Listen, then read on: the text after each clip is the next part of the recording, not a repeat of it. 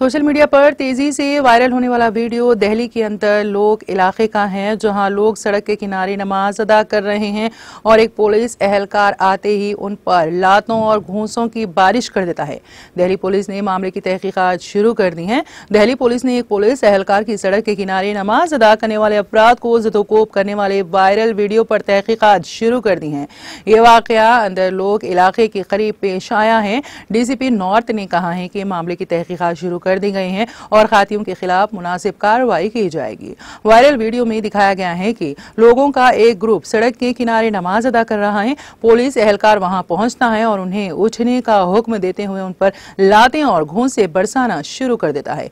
फिर लोग मदाखलत करते हैं और पुलिस एहलकार के इकदाम पर तनकीद करते हैं।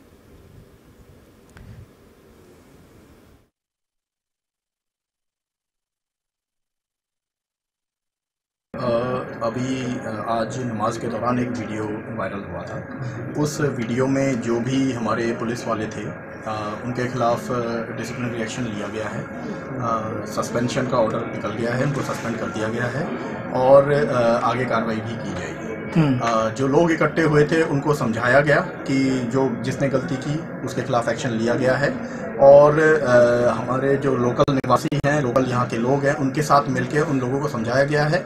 अब यहाँ से ज़्यादातर लोग जा चुके हैं। आ, ये बात समझाने के बाद मस्जिदों से भी ऐलान कराया गया कि एक्शन ले लिया गया है।